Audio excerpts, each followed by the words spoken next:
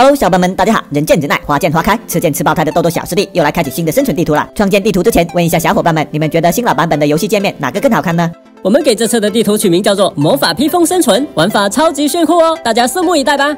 反正大师兄做的插件包都是挺好玩的。老规矩，先把材质包换成卡通材质包。小伙伴们是不是都比较喜欢卡通的？哦，对了，还得到资源中心的总库里面把大师兄做好的魔法披风插件包导入到地图里面。对这个插件包有兴趣的小伙伴们也可以拿去玩一下哦。进图第一件事当然是邀请长得丑、想得美的卡卡大师兄喽。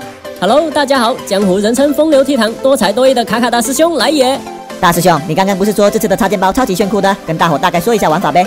那我就稍微剧透一下吧。迷你世界的披风装备总共有八件，我给每一件都附上了不同的魔法。至于是什么魔法，后面制作出来穿上后就知道了。现在还是赶紧撸基础材料吧。传送舱这附近的尖锐石头还不少，可以过来这边开采。哎，不是说撸基础材料吗？你怎么先打起狐狸来了？因为接下来的魔法披风都是需要用到皮革的，这些家伙身上刚好又有，看到就顺便宰了呗。那你慢慢宰吧，我刚收集了几个尖锐石头，现在准备开始撸树了。老话说得好，想致富先撸树，买下豪车和别墅。我搞到三张皮革了，等会制作工匠台后，看能不能先制作第一件披风。狐狸都被干掉了，现在我也来开始撸树了。咱们尽量把基础材料多收集一些，天黑就下矿了。这一眨眼功夫，大师兄又跑哪了？这边还留了个工匠台在这里。我在这边呢，刚刚想用工匠台看一看第一个披风难不难制作，才发现只需要皮革就行。但我收集的皮革数量还不够，所以就漫山遍野又找狐狸了。这不刚好又发现了几只。哎呀，刚刚斧头砍树消耗完了，只能用纯手撸干掉它们了。来来来，我来帮你吧。咱们现在都还没有星星可以复活，别待会你直接改了，那我的双人生存就变成单人生存了。开什么玩笑？区区两只狐狸，我还是有把握送他们回老家的。好家伙，说话这么拽的，那我就不管你了，继续撸我的基础材料了。最后大师兄集齐了皮革，现在我们又回到破房子这边了。我现在就来把第一件魔法披风给制作出来。刚好这边有岩石，那我一边开采一边等你制作出来。反正你都要制作出来了，现在可以说一下披上以后对咱们有什么帮助吗？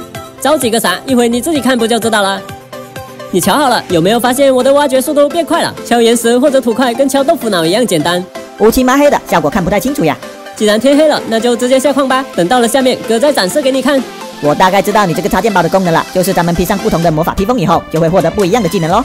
你小子还算没傻到家。没错，随着材料的收集，后面咱们可以制作更高级的魔法披风，获得的技能也会越来越强大的。